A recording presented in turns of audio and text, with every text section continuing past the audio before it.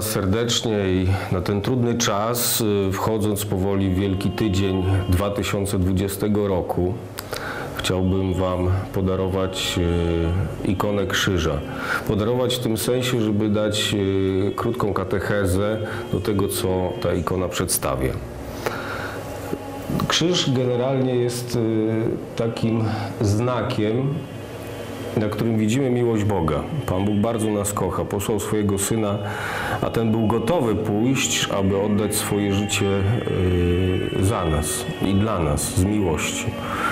I dlatego w tym czasie myślę szczególnie jest istotne, aby tą tajemnicę miłości Pana Boga rozważać, bo mogą przychodzić takie pokusy, yy, że możemy myśleć, że, że Boga nie ma, że Bóg się odwrócił, że Bóg zapomniał o nas, że nas nie kocha ale Bóg jest i objawia się również w tych trudnych dniach. I ta Pascha, choć będzie zupełnie inna niż, niż wszystkie, które może pamiętamy do tej pory, jest również dla nas szczególnym darem. Jeśli Bóg da łaskę, że będziemy żyli, to będziemy z pewnością wspominać ją do śmierci. Dlatego przyjmijcie ten prezent, dar tej ikony i posłuchajcie Słowa Bożego, bo robimy wiele rzeczy w tym czasie takich prewencyjnych i słusznie, ale myślę, że jest ważne, aby też y, mieć ten duchowy pokarm.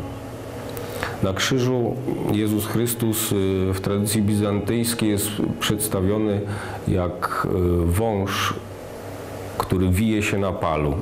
Pamiętacie tą sytuację, kiedy Izraelici szli przez pustynię i szemrali i Pan Bóg y, na ten grzech szemrania zesłał im węże, które ich kąsały.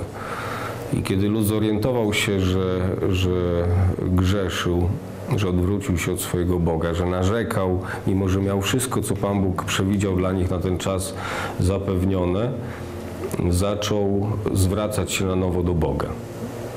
I Bóg dał Mojżeszowi ten znak węża na palu i każdy ukąszony, spoglądając na węża, pozostawał przy życiu. Tego dzisiaj myślę jest szczególnie ważne, aby spoglądać na krzyż Jezusa Chrystusa i aby to życie nie tylko zachować, ale żeby to życie zaczerpnąć. Tutaj w tle, w korpusie tego krzyża przedstawiłem sześć scen, które przypominają nam wydarzenia biblijne, szczególnie związane z tajemnicą y, przygotowywania się do chrztu. Dlatego nazwałem ten krzyż krzyżem katechumenów. I chciałbym, y, zanim połamię krótko to słowo, przedstawiając poszczególne sceny, przeczytać Wam fragmenty Ewangelii.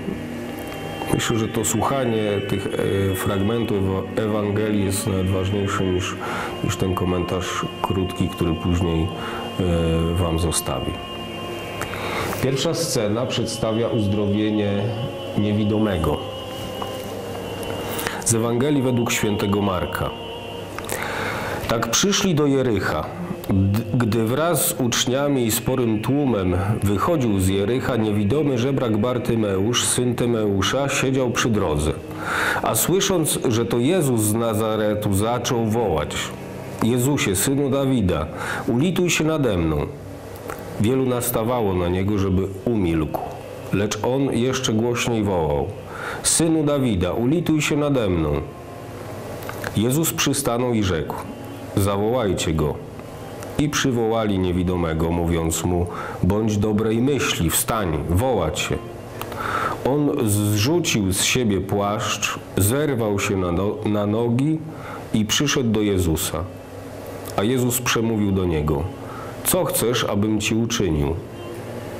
Powiedział mu niewidomy: Rabbuni, żebym przejrzał. Jezus mu rzekł: Idź, twoja wiara cię uzdrowiła. Natychmiast przejrzał i szedł za nim drogą. Oto słowo Pańskie. Widzimy, że ten żebrak Bartymeusz był bardzo zdeterminowany do tego, żeby zatrzymać Jezusa. Zrzucił z siebie płaszcz, czyli właściwie dla żebraka to było wszystko, co miał. I pozwolił się poprowadzić za rękę do Jezusa. To są znaki bardzo pokorne i to są znaki, które świadczą o ogromnej determinacji tego człowieka. Z pewnością e, komentatorzy twierdzą, że on kiedyś musiał widzieć, Dlatego wiedział, co to znaczy patrzeć na słońce, na gwiazdy, na trawę, widzieć kolory, widzieć drugiego człowieka i dlatego, kiedy stracił tą możliwość, wołał jak wariat z głębi swojego cierpienia. I dlatego Jezus y, usłyszał go. Dlatego ta ikona, ten fragment ikony krzyża jest y, związany z naszą modlitwą. Że Bóg pragnie, abyśmy z głębi serca rzeczywiście wołali do Niego, z głębi swojego cierpienia, z głębi tego e, swojej może ślepoty, bo może nie widzieliśmy do tej pory, co od Boga otrzymaliśmy, jak wielkie dary, jak wiele łaski, jak wiele możliwości. I teraz, kiedy te dary, łaski, możliwości się przed nami zamykają, zamiast właśnie szemrać, myślę, że warto wołać Jezusie, Synu Dawida, ulituj się nad nami. Święta paschalne to są święta radosne. My dzisiaj mamy wiele, wiele powodów do zmartwienia, ale chcę powiedzieć, że Chrystus zmartwychwstał. Naprawdę zmartwychwstał. E, Siedzi po prawicy Ojca, wstawia się za nami i przyjdzie powtórnie. To chcę podkreślić z mocą, dlatego że Yy, z pewnością to, co dzieje się dzisiaj w świecie, jest przygotowaniem na powtórne przyjście Chrystusa. Ja nie chcę powiedzieć, że ono zaraz nastąpi, ale każde pokolenie ma swoje znaki eschatologiczne, które mają to pokolenie uwrażliwić na to, że jesteśmy yy, tutaj na spacerze, na pielgrzymce i że nasze życie jest bardzo kruchutkie i że się kończy i że przyjdzie ten moment, że, że z Panem Bogiem będziemy mogli się spotkać. Ci, którzy Go kochają, tęsknią za Nim, będą przeżywali dies natalis, to dzień urodzin e, wtedy.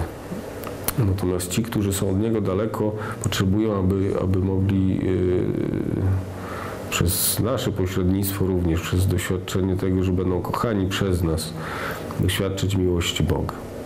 Życzę Wam dobrej Paschy. Niech te święta będą błogosławionym czasem, żeby nie, nie stracić e, wiary, żeby nie zwątpić miłość Boga, żeby przekonywać się, że On jest i Maranata może na tą Paschę. Przyjdź Panie Jezu.